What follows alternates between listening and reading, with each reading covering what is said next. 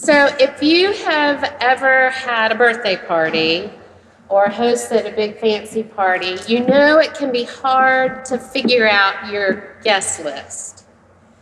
Because sometimes you might be told maybe you can only invite four friends. And then you have to figure out who gets invited and who doesn't. And then you might be told that some of your friends just don't want to come to your party.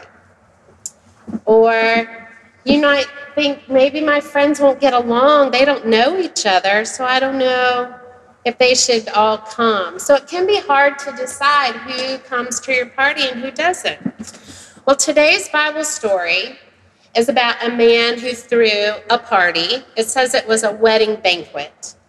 And it was a very fancy wedding banquet and he had all the food out, all the candles were lit, everything was ready to go, and the um, people didn't show up.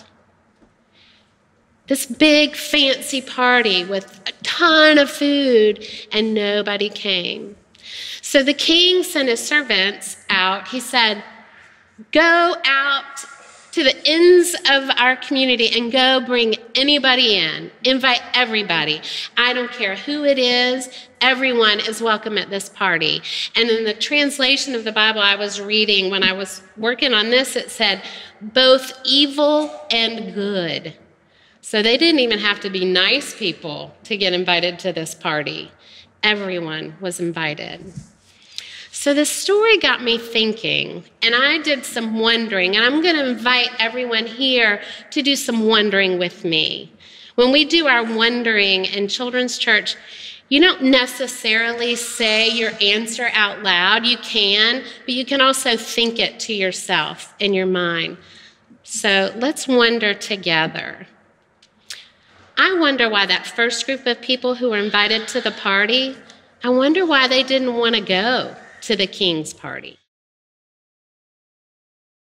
I wonder how that second group of guests felt when they got invited to the king's banquet. I wonder how the king felt when his banquet table was full with all of those new friends.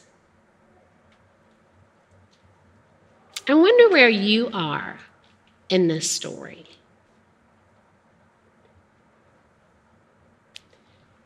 And I wonder why Jesus told this story. I wonder why. I'm going to invite you to keep wondering about this story, but in the meantime, let's close our time together with a prayer. Dear God, y'all repeat after me. Dear God, thank you for loving us. Help us remember everyone is invited to your party